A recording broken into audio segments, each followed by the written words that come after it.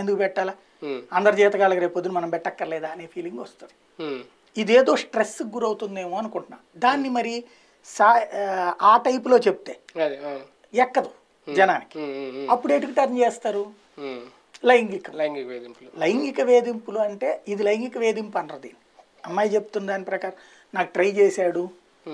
అదంటే ట్రై చేసినప్పుడు నువ్వు ఇంతకాలం ఎందుకుంటావు అసలు? ఉమ్, అందులో డిఎస్పి కూతురు ఎందుకుంటావు? ఉమ్. లేదా అవగాహన లోపం అన్నవి ఉండాలి. అర్థం చేసుకోవడంలో లోపం అయ్యి ఉండాలి. మేబీ అదే అయి ఉండొచ్చు. లైంగిక వేధింపు ఈజ్ డిఫరెంట్ హెరాస్మెంట్ డిఫరెంట్ ఇది గృహహింస కిందకు వస్తుంది. లైంగిక వేధింపు కిందకి రాదు. లైంగిక వేధింపు అంటే వచ్చి నా ఒళ్ళో కూర్చోంటము పక్కన కూర్చుంటము మీద చెయ్యేయడము. ఉమ్, దాన్ని లైంగిక వేధింపు అంటారు. అంతేగాని తిట్టాడు పొద్దునుంచి సాయంత్రం దాకా నిలబెట్టాడు. ఇప్పుడు ఆ లెక్కనైతే మాకు చిన్నప్పుడు స్కూళ్ళల్లో ఎక్కాలు చదువుకురమ్మని చెప్పి హోంవర్క్ ఇస్తారు. అది పొద్దునకి ఎక్కని చదవకపోతే ఒంగో పెట్టి మీద లావు రాయి పెట్టేవాడు. లేదనుకోండి గోడ కుర్చీ వేసి ఈ గోడ కుర్చీలో ఇంకో మనిషిని కూర్చోబెట్టేవాడు.